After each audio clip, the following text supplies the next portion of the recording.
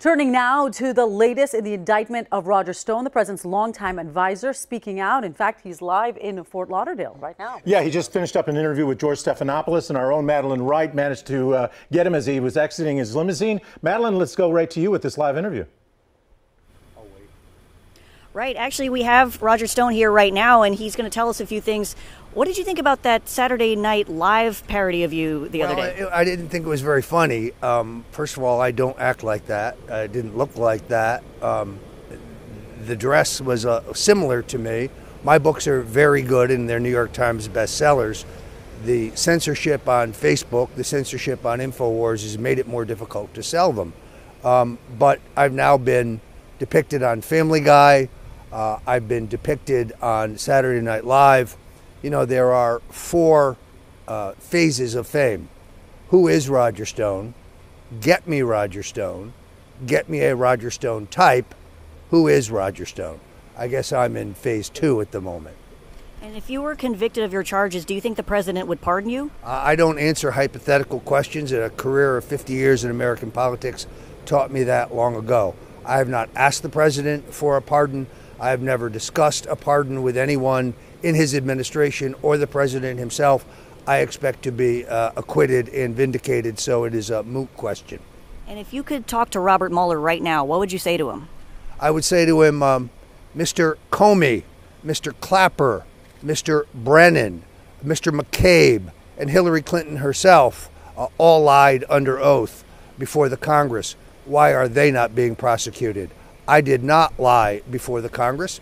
Any error I made would be an honest mistake of memory. It would be without intent. It would be immaterial and inconsequential.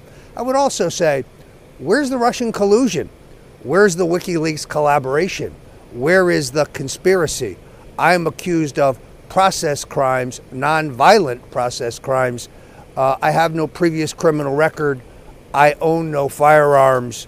Uh, my passport has expired, uh, and I've been under investigation for two years. I'm not a flight risk. The judge released me on bond on my signature. I have uh, destroyed no evidence. Uh, why would I destroy it now? I've had it for two years. Um, there was no reason to send a, a SWAT team uh, with assault rifles drawn surround my house uh, when the, all they had to do was contact my attorneys, and I would have been more than happy to surrender. So that show of force, which cost the American taxpayers hundreds of thousands of dollars, was designed to depict me as public enemy number one, like the OG. Uh, I'm not El Chapo, but they sent more men after bin Laden.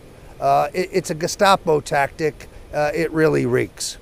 Thank you so much for your time, Mr. Stone. Thank you. And Roger Stone, he is facing seven federal charges right now. He is charged with making false statements to Congress. He is also charged with witness tampering. And he promises that he will plead not guilty to all those charges during his arraignment Tuesday in Washington, D.C. FBI agents conducted a pre dawn raid at his house on Friday morning. He heard, he said just now that he did not think that was necessary. It was overkill. And again, he promises that he will plead not guilty, but here's more about what he has to say about those charges.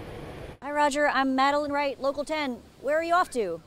Roger Stone emerged from his Fort Lauderdale house Sunday morning defiant in the face of seven federal charges, including five counts of making false statements, one count of obstructing an official proceeding, and one count of witness tampering. Now that you've been home for a few days, do you know if the FBI took anything from your house? Uh, I can't comment on any of that. Let me just say I look forward to total and complete vindication. The informal advisor to President Trump posted on Instagram Saturday this doctored image of special counsel Robert Mueller dressed as a waiter and holding an empty bun on a silver platter. The caption reads, Here's what Mueller has on me. Hashtag nothing burger. The FBI arrested the self described dirty trickster during a dramatic pre dawn raid at his house Friday.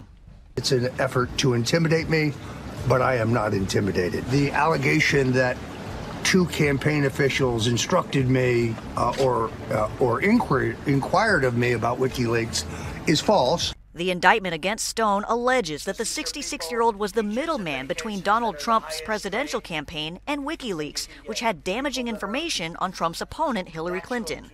Prosecutors say Stone lied about it to the House Intelligence Committee and told a witness to lie about it too. House Speaker Nancy Pelosi tweeted Saturday Roger Stone's indictment makes it clear there was a deliberate, coordinated effort by top Trump campaign officials to subvert the will of the American people during the 2016 election. Stone responded on Instagram Hey, Nancy, actually, my indictment proves nothing of the kind, since none of it has been proven in a court of law, and much of it is incorrect, out of context, or just false. And President Donald Trump is also coming to Stone's defense. Live in Fort Lauderdale, Madeline Wright, Local 10 News. All right, Matt.